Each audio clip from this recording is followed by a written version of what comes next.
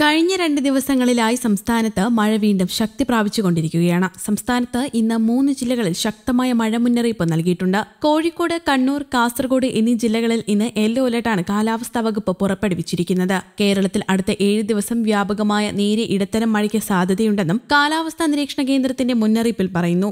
വിവിധ ജില്ലകളിൽ ഒറ്റപ്പെട്ട ഇടങ്ങളിൽ ഇടത്തരം മഴയ്ക്കും മണിക്കൂറിൽ നാൽപ്പത് കിലോമീറ്റർ വരെ വേഗതയിൽ വീശിയേക്കാവുന്ന ശക്തമായ കാറ്റിനും സാധ്യതയുണ്ട്. മഴയെ തുടർന്ന് പ്രധാന റോഡുകളിൽ വെള്ളക്കെട്ടിന് സാധ്യതയുള്ളതിനാൽ ഗതാഗത കുരുക്കുണ്ടാകും താഴ്ന്ന പ്രദേശങ്ങളും നദീതീരങ്ങളിലും വെള്ളപ്പൊക്കമുണ്ടാകാൻ സാധ്യതയുള്ളതിനാൽ വാഹന യാത്രക്കാരും ജാഗ്രത പാലിക്കണമെന്ന് മുന്നറിയിപ്പിൽ പറയുന്നു. കേരള തീരത്ത് നാളെ രാത്രി പതിനൊന്ന് മുപ്പത് വരെ പൂജ്യം ദശാംശം അഞ്ച് മുതൽ ഒന്ന് ദശാംശം പൂജ്യം മീറ്റർ വരെ ഉയർന്ന തിരമാലയ്ക്കും കള്ളക്കടൽ പ്രതിഭാസത്തിനും സാധ്യതയുണ്ടെന്ന് ദേശീയ സമുദ്രസ്ഥിതി പഠന ഗവേഷണ കേന്ദ്രവും അറിയിച്ചു. അതുകൊണ്ട് തന്നെ കാറ്റ് വീശാനും സാധ്യതയുണ്ടെന്നാണ് അറിയിച്ചിട്ടുള്ളത്. മറ്റ് ജില്ലകളിൽ ഒറ്റപ്പെട്ട ഇടങ്ങളിൽ നേരിയ മഴയ്ക്കുള്ള സാധ്യതയും പ്രവചിക്കപ്പെടുന്നുണ്ട്. ഉരുൾപൊട്ടൽ മണ്ണിടിച്ചിൽ സാധ്യതകളും കാലാവസ്ഥാ വകുപ്പ് പ്രവചിക്കുന്നുണ്ട്. ജാഗ്രത പാലിക്കാനാണ് നിർദ്ദേശം. അതേസമയം ഈ മൂന്ന് ജില്ലകളിലാണ് യെല്ലോ അലർട്ട് പ്രഖ്യാപിച്ചിരിക്കുന്നത്. ശക്തമായ രീതിയിൽ പെയ്തില്ലെങ്കിലും ഇടത്തരം മഴയാണ് പലയിടത്തും കിട്ടിയത്. ഇത് രാത്രി വൈകുവോളം നീണ്ടു. രാവിലെയോടെ ശമനമുണ്ടായെങ്കിലും മഴ സാധ്യത കുറഞ്ഞിട്ടില്ല. ജില്ലയിൽ പലയിടത്തും മൂടിക്കെട്ടിയ അന്തരീക്ഷമാണുള്ളത്. യെല്ലോ അലർട്ട് പ്രഖ്യാപിച്ച സാഹചര്യത്തിൽ വടക്കൻ കേരളത്തിൽ മഴ കനക്കുമെന്നാണ്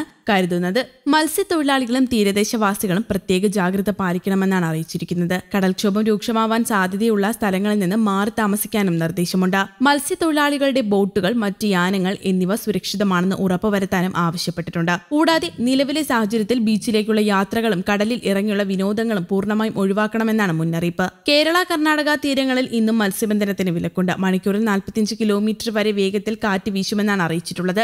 ഈ സാഹചര്യത്തിലാണ് മത്സ്യബന്ധനത്തിന് വിലക്ക് ഏർപ്പെടുത്തിയത്. അതേസമയം ഉരുൾപൊട്ടലടക്കമുള്ള പ്രകൃതി ദുരന്തങ്ങൾ നേരിടുന്ന വയനാട്ടിൽ കാലാവസ്ഥ പ്രവചിക്കാൻ റഡാർ സംവിധാനം വരുന്നു. റഡാർ കോഴിക്കോട്ട് സ്ഥാപിക്കാനായി ആയിരുന്നു ആദ്യ തീരുമാനം. എന്നാൽ സിഗ്നൽ ലഭിക്കാൻ പശ്ചിമഘട്ട മലനിരകൾ തടസ്സമാകുമെന്നതും വയനാട്ടിൽ മഴ കൃത്യമായി അളക്കേണ്ടതിന്റെ ആവശ്യകത വർദ്ധിച്ചതുമാണ് റഡാർ വയനാട്ടിൽ സ്ഥാപിക്കാനുള്ള തീരുമാനത്തിലേക്ക് എത്തിയത്.